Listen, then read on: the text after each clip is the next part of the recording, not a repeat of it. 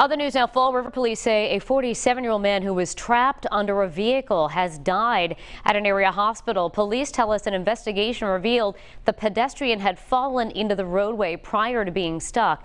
The 52-year-old driver of the vehicle summoned to Second District Court for driving without a license. He was cited. He was not cited, excuse me, at this point for the accident.